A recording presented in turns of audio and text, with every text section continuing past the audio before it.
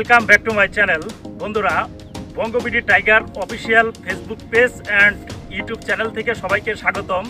প্রতিদিনের ন্যায় আমি আজকে আপনাদেরকে দেখাতে যাচ্ছি যে হারভেস্ট মেশিন কীভাবে ধান কাটে এবং কৃষকের যে কষ্ট, যে দুঃখ, সেটা বর্তমান ডিজিটালাইজ হওয়ার কারণে অনেকটা আগের চেয়ে কমে আসছে। আমরা ছোটোবেলায় দেখতাম প্রথমে ধান মাড়াই করার জন্য আমরা ধান কাটতাম এবং কেটে ছোট ছোট আটি বেঁধে সেগুলো আমরা কোনো খাইতে হোক বা কিছু কোনো জিনিসের উপর আমরা আগে বাইরেতাম। এখন বর্তমান উন্নতির প্রযুক্তি ছোঁয়া লেগে যাওয়ার কারণে সেখান থেকে এক ধাপ এগিয়ে তারপরে আমরা দেখেছি যে শ্যালো মেশিন দিয়ে ধান মাড়াই করার যে প্রযুক্তি, সেটা আমরা ব্যবহার করেছি।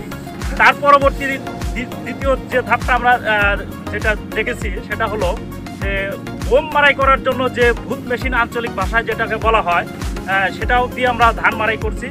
এখন বর্তমান অন্যতম একটি প্রযুক্তি সেটা হলো এই হারভেস্ট মেশিন এবং বাংলাদেশ সরকার এবং গভর্নমেন্টের অনেক ভূমিকা রয়েছে এই হারভেস্ট মেশিন আমদানি করে কৃষকদের হাতে অল্প স্বল্প ন্যায় পৌঁছে দেওয়ার জন্য, যার উন- উন্নতি প্রযুক্তি ছোঁয়াটি এই বাংলাদেশের প্রত্যেকটা কৃষকের গায়ে এবং অন্তর্ভুক্ত হয়েছে।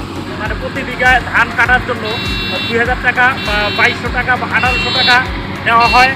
এবং এই প্রযুক্তিটা কীভাবে ধান মারাই করছে সেই প্রসেসিংটা আমি আপনাদেরকে আজকে দেখাবো।